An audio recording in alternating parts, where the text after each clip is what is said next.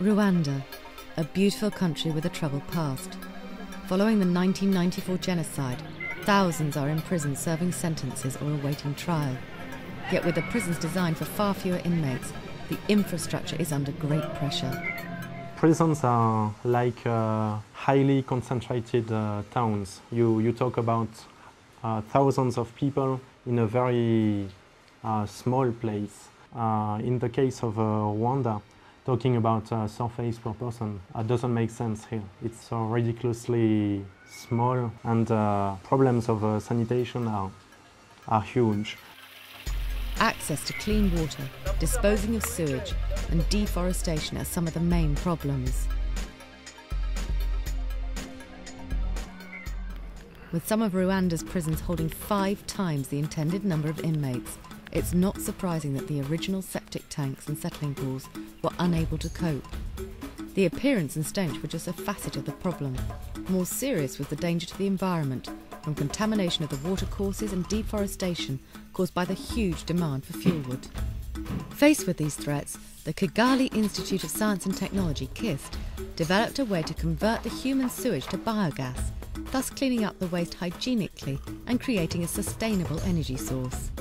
Natural fertilizer is a bonus byproduct. We can turn the human waste, which is polluting the environment, into usable gas, the biogas system, whereby they can use it for cooking. And we started with Cyangugu, where there was about 7,000 prisons. We have now covered seven prisons, and uh, we hope to cover all the prisons. Ainea Kimaro was the engineer who designed the system. How the system works, you get uh, fresh material from the toilet and they go through uh, a drainage system and it has to enter the anaerobic system. Anaerobic system uh, is, a, is an enclosure where you don't have air uh, because the bacteria which produce gas, they don't like oxygen. Now, with inoculation mechanism, you are mixing the old stock with the fresh material, which is the secret behind the success of this kind of technology.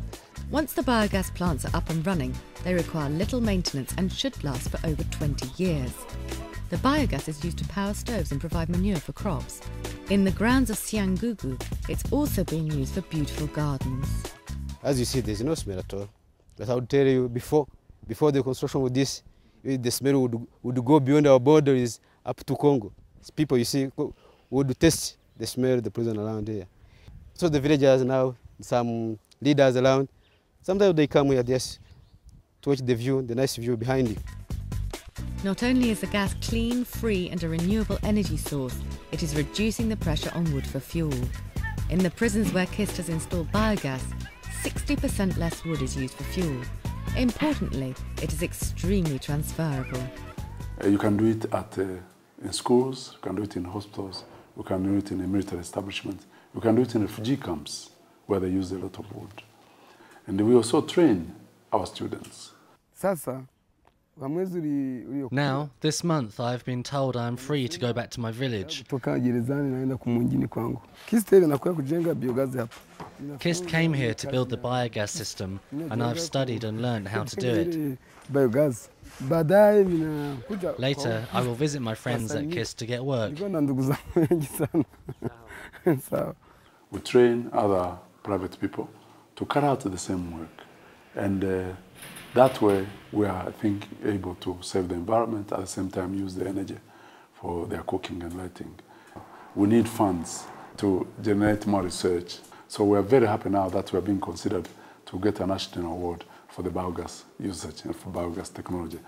To make the KIST biogas project sustainable, knowledge of the technology must be shared. Once individuals learn how to develop biogas plants, it's a viable option for private enterprise, and many plants using human and livestock waste can be used to produce this clean energy. Fantastic.